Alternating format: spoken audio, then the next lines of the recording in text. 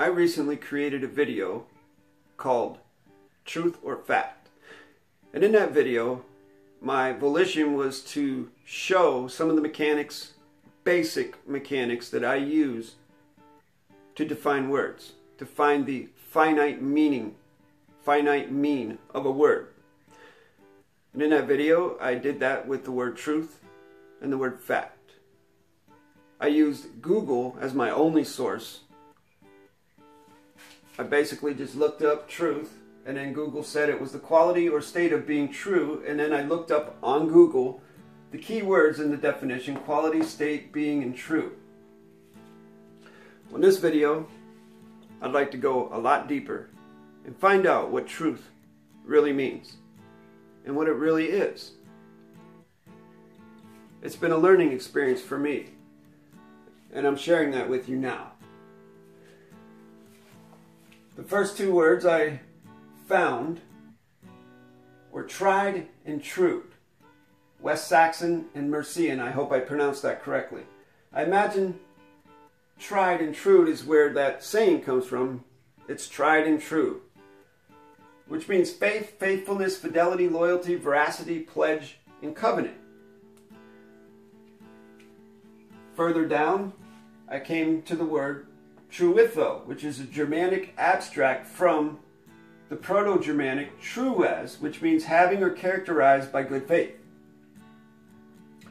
That came from the word druo, D-R-E-W hyphen O, which is a suffixed form of a root.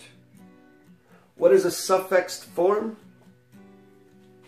A suffix is something they tack on to an end of a word that modifies the word. In other words, the word is no longer the word. They've changed it. So the root that they changed was deru. Now this word, D-E-R-U, means be firm, solid, steadfast. This is the root of truth. It's the, to my knowledge, there is no word before this. So that is the root. And then I looked up that word, deru. And deru is actually, when we say root, literally it means root. It's like the bottom of a huge tree. And these words and many, many other words spring up as branches from this root. This is a very strong and very powerful root that I, have found. Many positive performance contracts come from it. We have troth, we have door, druid, durable, duration, durance, perdurable, shelter, tree, truce, trust. All these words come from deru, which is truth, which means firm, steadfast.